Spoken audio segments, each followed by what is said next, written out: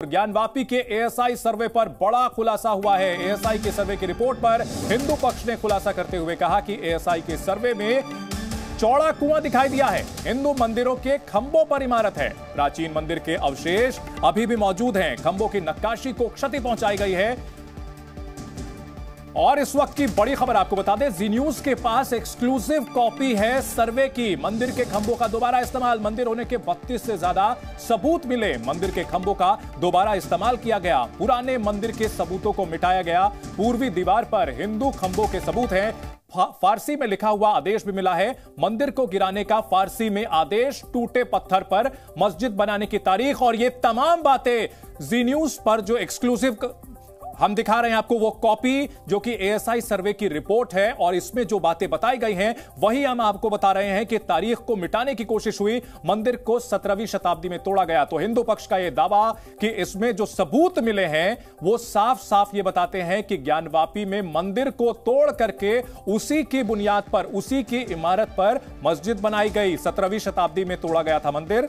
और उसके बाद अवशेषों का मस्जिद में प्रयोग किया गया। हिंदू पक्ष लगातार यही दावा करता रहा था और मुस्लिम पक्ष की मांग थी कि यह रिपोर्ट जो है वो सामने ना लाई जाए। साथ ही साथ ये भी कहा गया था कि ये उन्नीस सौ इक्यानवे का जो वो आ, न, कानून लाया गया था उसके तहत किसी भी जो धर्मस्थल का जो स्वरूप था उन्नीस से पहले, उसको बदला नहीं जा सकता। लेकिन इस वक्त की बड़ी खबर यह है कि जी न्यूज़ के पास एएसआई रिपोर्ट के दस्तावेज़ हैं और हिंदू पक्ष ने दावा किया है कि इसमें मंदिर था यहाँ, इसके बत्तीस सबूत मिले हैं। हमारे सहयोगी विशाल पांडे हमारे साथ इस बड़ी खबर पर जुड़ चुके हैं। विशाल, बहुत बड़ा ये मामला है और बहुत बड़ी जानकारी एएसआई रिपोर्ट में जो सामने आई है।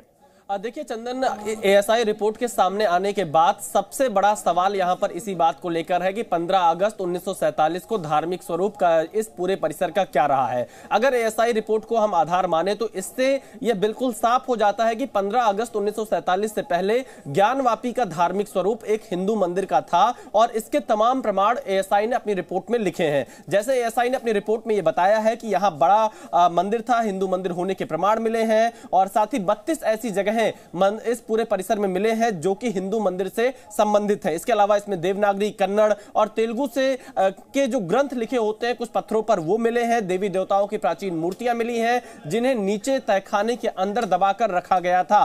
देवी देवताओं के नाम तीन जगह पर लिखे हुए थे, जनार्दन, रुद्र और उमेश्वरा। और इसके अलावा महामुक्ति मंडप एक जगह लिखा हुआ मिला है। और साथ ही, यहाँ पर एएसआई ने अपनी इस रिपोर्ट में एक बहुत बड़ी बात कही है कि 2 दिसंबर सोलह को औरंगज़ेब के द्वारा इस जो यहाँ पर हिंदू मंदिर का स्ट्रक्चर था इसको तोड़ा गया था और इसके लिए बाकायदा एक पुरानी जो किताब है उसका भी यहाँ पर एएसआई ने उसका ज़िक्र किया है। उस किताब के बारे में मैं अपने दर्शकों को बता दूँ जिसमें लिखा गया है जिसका रेफरेंस लेकर यहाँ पर एएसआई ने अपनी पूरी रिपोर्ट दी है। जिसमें यह कहा है कि ऐसा लगता है कि जो मौजूदा ढांचा है वो मंदिर के ऊपर ही बनाया गया है क्योंकि तमाम ऐसे खंभे हैं मंदिर की आकृति वाले जिसके ऊपर मौजूदा ढांचा बनाया गया साथ ही पश्चिमी दीवार का ज़िक्र यहाँ पर बार बार किया गया क्योंकि बाहर से पश्चिमी दीवार बात बिल्कुल साफ़ तौर से दिखाई देती है कि किस तरह से हिंदू मंदिर की आकृतियाँ हैं और इसके साथ ही साथ यहाँ पर जो तहखाने के अंदर बहुत सारे ऐसे खंभे मिले ऐसी मूर्तियाँ मिली हैं जो हिंदू देवी देवताओं से संबंधित है। तो यह कहा जा सकता है कि यह एक बहुत बड़ा प्रमाण होगा एएसआई का सर्वे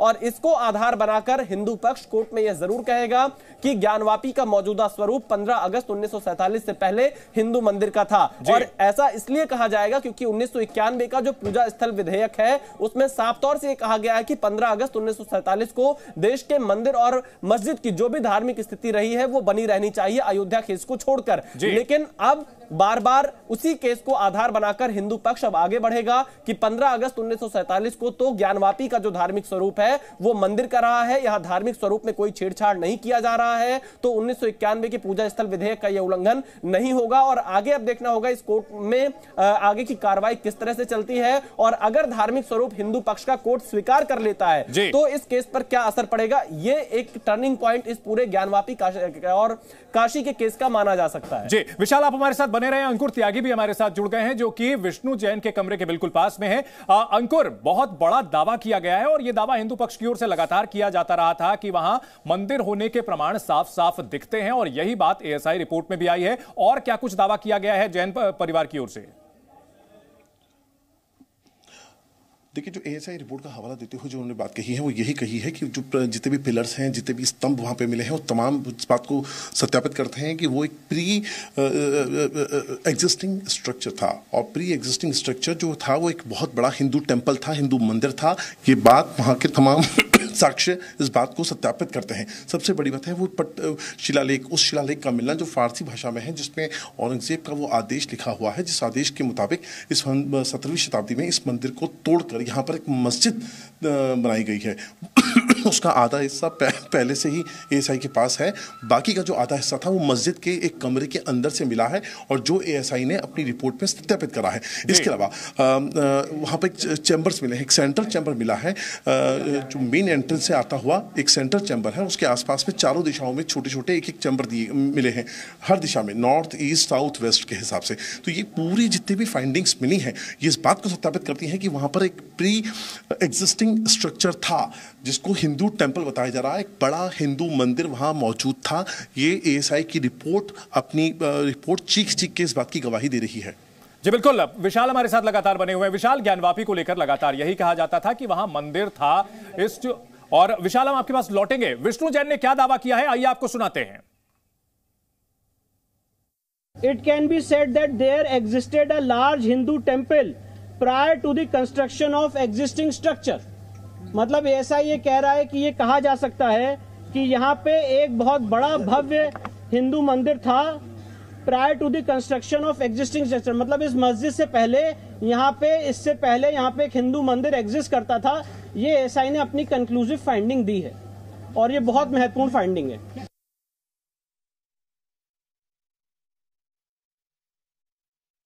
ये बहुत महत्वपूर्ण फाइंडिंग है एएसआई की। एएसआई ने कहा है कि जो पश्चिमी दीवार है इस तथाकथित मस्जिद की ये पार्ट है एक प्री एग्जिस्टिंग हिंदू मंदिर का। मतलब एएसआई ये कह रहा है कि जो पश्चिमी दीवार है ये पश्चिमी दीवार एक हिंदू मंदिर का पार्ट है। ऐसा ये कह रहा है कि जो इसमें खंबे लगे हुए हैं, वो खंबे हिंदू मंदिर के थे और उसी को रीयूज किया गया मतलब ऐसा ये कह रहा है कि उन पिलर्स में जो क्राविंग्स थी, उसको भी डिस्ट्रॉय किया गया है और उसी को एक हिंदू मंदिर के जो खंबे थे, उसको दोबारा रीयूज किया गया ऐसा ये कह रहा है कि वहाँ पे जो इंस्क्रिप्शंस मिले हैं उसमें से बत्तीस ऐसी जगहें हैं और टोटल और टोटल चौतीस ऐसे इंस्क्रिप्शन हैं जो प्री एग्जिस्टिंग हिंदू टेंपल के थे। मतलब जो पहले हिंदू मंदिर था उसी के इंस्क्रिप्शन को यूज़ करके इस्तेमाल करके ये तथा कथित मस्जिद बनाने का काम किया गया। कौन कौन से लैंग्वेज इसमें जो इंस्क्रिप्शन मिले हैं ये देवनागरी ग्रंथा तेलुगु और कन्नड़ स्क्रिप्ट के मिले Janardana Rudra and Umeshwara are found in these inscription ये जो इंस्क्रिप्शन है इसमें देवताओं के तीन नाम आज भी इंगित होते हुए दिखते हैं। कौन कौन सा नाम है? जनार्दना। जनार्दना रुद्र और उमेश्वरा। मैं आपको ये बताना चाहता हूँ सर्वे के दौरान वहाँ पे एक पत्थर मिला था एक इंस्क्रिप्शन मिला था। और वो जो पत्थर मिला था वो आधा टूटा हुआ है। तो एसआई ने कहा कि इस पत्थर का जो ओरिजिनल है वो उनके पास ऑलरेडी उनके रिकॉर्ड्स में था उन्नीस सौ छप्पन उन्नीस सौ 1965 1966 में, और उस पत्थर में क्या लिखा हुआ है, वो आपको आगे बता रहा हूँ। सर्वे के दौरान ये जो वहाँ पे इंस्क्रिप्शन था, उसी मॉस्क के रूम से मिला। जो मॉस्क बनाने की और उसकी रिपेयर की बात थी, इस इंस्क्रिप्शन से उन लोगों ने उसको मिटा दिया है। और ये जडूनाथ सरकार की फाइंडिंग को एसआई ने रिलाई किया है। और सेकेंड सितंबर 1669 को बताया गया कि विश्वनाथ की जो मंदिर है, वो ढहा दी गई। तो एसआई ने यहाँ पे जडूनाथ सरकार की फाइंडिंग को रिलाई किया मजलिस आलमगिरी की